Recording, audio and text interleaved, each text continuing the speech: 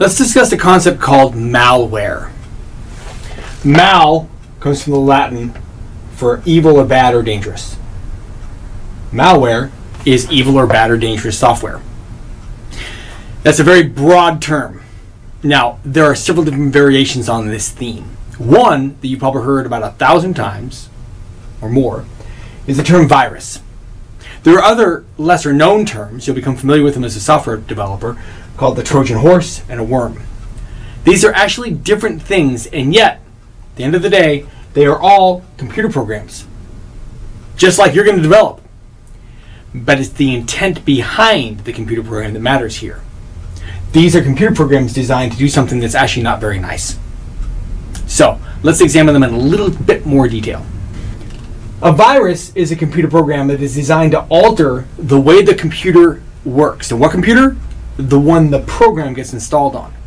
So, you might hear the term, my computer has a virus.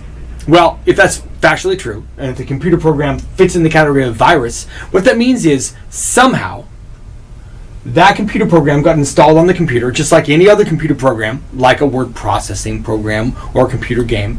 But this program alters the way the computer works. Examples could be that it erases the storage of your computer, just utterly wipes out everything on your hard drive. Some examples could be it could search through all the files that are in your computer and try to find credit card data. Others could be that it just simply displays pictures on the screen randomly. Anything a computer program can do, this can do because it's a computer program but it's designed to alter the operation of your computer without you knowing and usually to bad effect. That's a virus. Small computer program alters the way your computer operates. There are a couple of characteristics of a computer program that's called a virus. One is that it activates itself. It can actually be programmed in such a way that when it gets installed on your computer, it starts up automatically. Compare that to say a computer game on your on your computer like solitaire. Solitaire isn't running unless you tell it to run. You find it, click on it, it starts. Now your computer is engaged in the process of running the solitaire program. Not so with a virus. Once it's installed on your computer, it starts itself automatically and does whatever alteration it's been programmed to do. Another characteristic of a virus as a computer program, it replicates itself. And this is where its effects get truly dangerous. Part of what a computer virus can do, once it gets installed and again automatically starts, is make copies of itself and put them elsewhere on your computer. Or put them onto a storage device that you might be using that's attached to the computer. And now that storage device, if you use it on a second computer, can put that virus, that computer program, on that second computer, and so on and so on. And the virus can spread in much the same way the disease virus can spread. But it's a digital computer program that spreads. Now let's discuss a Trojan horse. As background, the Trojan horse is a famous item from history. Thousands of years ago, two countries were fighting. One was Greece, and one was Troy. The Greek soldiers had been attacking Troy for years. But Troy, a very heavily fortified city, had resisted the attacks of the Greeks. Finally, in an effort to trick the Trojan soldiers, the Greeks pretended to retreat. Let's take all of our soldiers and ships and go away.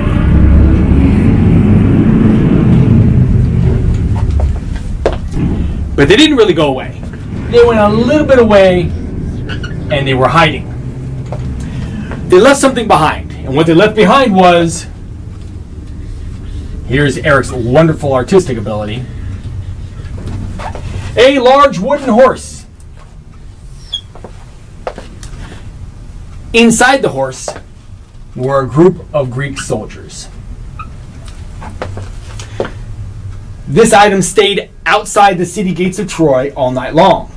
And when the Trojans awoke in the morning, they found what looked like all of the Greek soldiers finally having been retreated after years of besieging their city.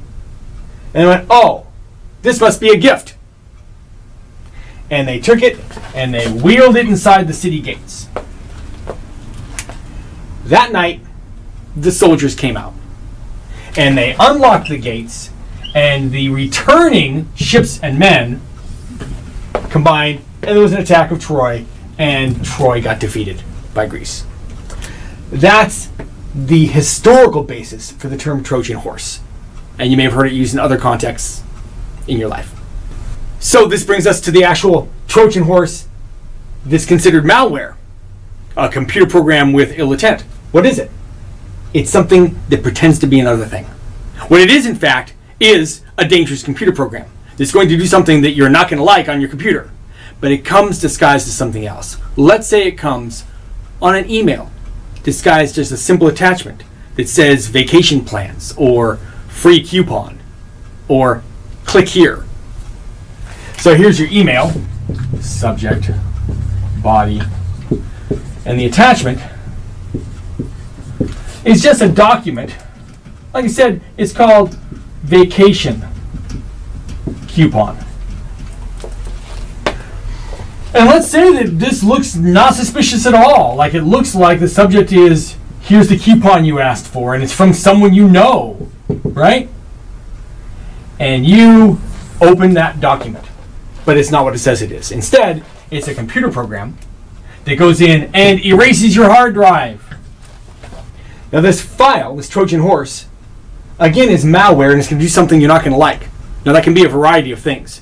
It might do something as simple as erase your hard drive or just pop up a bunch of pictures of narwhals on your screen. But probably it's going to do something a lot more damaging, like search through your computer for any examples of credit card da- data it can find, open up a connection to the internet, and send that credit card data off to who knows who. Well, probably the creators of the Trojan horse, where they can use your credit card. So, difference between a virus and a Trojan horse. A virus, you're not even going to see it coming. It gets installed and you don't know it's installed, and as soon as it's installed, it starts running and it does something damaging. The Trojan horse, you activate. It comes acting as if it's something else. Again, maybe a simple attachment to an email, and then you activate it, and then it does what it is intended to do. But it's ill intent. Now let's cover a category of malware called a worm. Now, a worm is very similar to a virus. In fact, it's considered a subclass of a virus. Here's a bit of the difference it has to do with how this virus gets activated, gets installed on your computer, and does what it does. It requires some human interaction for this to occur. Either you take a memory storage device like a flash drive that you're not really that familiar with and someone just gave you, and you stick it into your computer. You just put that virus into your computer. A worm, on the other hand, does not require human interaction in order to replicate itself onto another computer. Instead, it uses already existing connections to your computer. Remember, your computer is almost always connected to some other computer via the internet. Remember, you have your PC. We've looked at this a bunch of times before. You've got your browser, this piece of software, but this PC is connected out over the internet using internet protocol to lots and lots and lots of other computers. And many times, there's software running on your computer that keeps a lot of these connections open, and you may not even know about it. And if someone out in the world is able to access one of these connections and connect down to your computer, they can actually install the worm, the malicious software, onto your computer without you having to do anything. And from there, the worm could use that outbound connection to find other computers and replicate itself on there. Now, what's it going to do once it's installed in your computer? Again, sky's the limit. Whatever a computer program can do. But the essential difference is the virus does require some action on your part, whether you know you've done it or not, to actually get that thing installed onto your computer. Once it's installed, it just executes and does whatever malware function it's going to do. The worm, on the other hand, you didn't even know it's coming. You didn't do anything. It found a connection into your computer and it installed itself. So, what do you do about it? Well, one thing you can do is use a specific type of computer program called antivirus software or antivirus program on your computer. These are specific pieces of software that are continually updated to be able to know the structure of different viruses, Trojan horses, worms, and other malware that exists out in the world. And part of what this computer program does is on a regular basis scan through your computer looking for any files that actually match any of their known examples or definitions of these types of malware and then delete them from your computer. Now, it's a bit more complex than that because obviously we're talking about highly sophisticated software here, written by people that have a lot of intelligence and programming ability, but should be using their abilities for good, not for evil. So, antivirus software is written by some of the most talented software programmers there are in the world. And their job changes every single day because these change every single day. Antivirus software, because of that, continually gets updated with new examples or definitions of the various items of malware that are being found out in the world. This is a constantly evolving industry, if you will. There are also a few common sense things you can do to avoid viruses or Trojan horses from being installed in your computer. One is if you don't recognize the source of a file that you're being given, then don't open it and put it on your computer. If you don't 100% know where a computer program that you're about to put on your computer comes from and exactly what it's meant to do, check into it first before you actually install it on your computer. Some of this is, is common sense.